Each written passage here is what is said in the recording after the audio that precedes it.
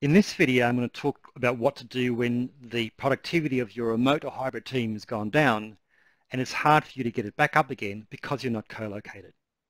Hi, my name's Cris Popp.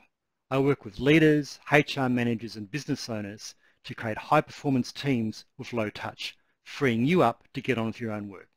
So if you want to create a great hybrid team with low touch, get in touch with me or follow me on LinkedIn for more tips like this. Now, a lot of teams have noticed that when they first went into lockdown or were working remotely, their performance and productivity went up. But now over time, the momentum's being it's, it's becoming hard to maintain. Recently, I worked with an engineering firm, and that was their situation. When they first started, it was all great. People were working really well. In fact, productivity went up because there were less interruptions. But over time, it started to get worse.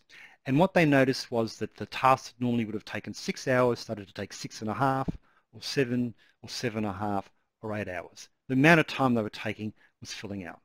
Now, why does that happen?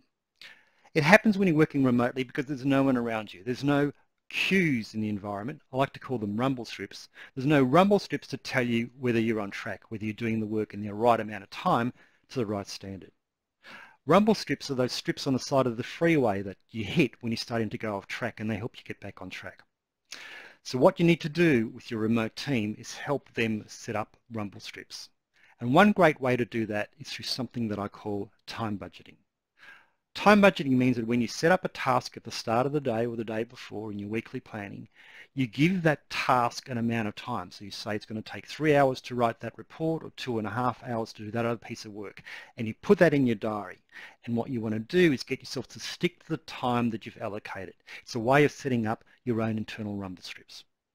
That's one tip.